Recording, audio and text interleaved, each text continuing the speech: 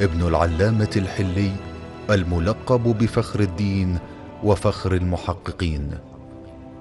هو الشيخ الأجل العالم وحيد عصره وفريد دهره. أبو طالب محمد بن الحسن بن يوسف ابن مطهر الحلي المولود في ليلة العشرين من جماد الأولى سنة اثنتين وثمانين بعد الستمائة للهجرة. وجه من وجوه هذه الطائفة جليل القدر كثير العلم. جيد التصانيف عظيم المنزلة.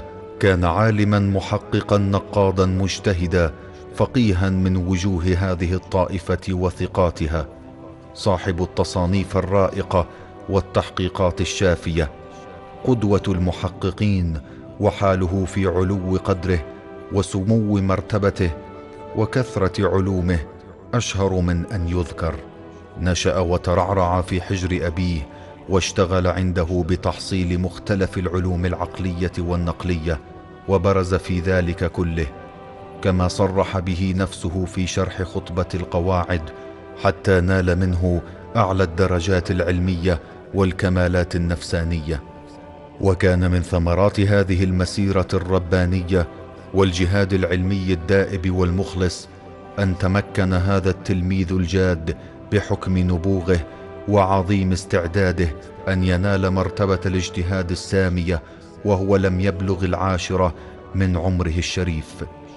وكان والده العلامة يعظمه ويثني عليه ويعتني بشأنه كثيرا حتى أنه ذكره في صدر جملة من مصنفاته الشريفة وأمره في وصيته التي ختم بها القواعد بإتمام ما بقي ناقصا من كتبه بعد حلول الأجل وإصلاح ما وجد فيها من الخلل ومما يدل على جلالته ونبالته في العلوم وتقاه شدة عناية والده به ودعاؤه له في كثير من مؤلفاته والتماسه الدعاء منه والقرآن له في حياته وبعد مماته وقوله فيه جعلني الله فداه ومن كل سوء وقاه.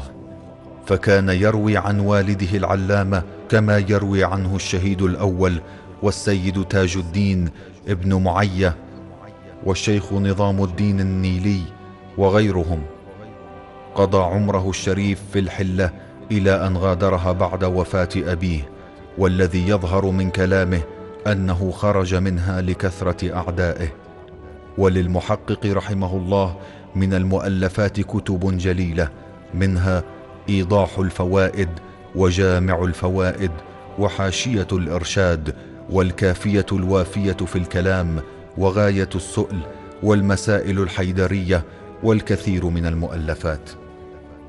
وحينما شرح خطبة القواعد الذي ألفه الشيخ فخر الدين حيدر بن إبراهيم البيهقي اشتهر بالفخرية هذا سوى ما أتم من مصنفات والده العلامة وحضر مجلسه جلة من الأفاضل منهم الشهيد الأول والفاضل المحدث بدر الدين المدني والمحقق العلامة فخر الدين المتوج البحراني وابنه والشيخ علي بن عبد الحميد النيلي والسيد حيدر الآملي توفي في الحلة ليلة الجمعة في الخامس والعشرين من جماد الثانية سنة إحدى وسبعين وسبعمائة للهجرة.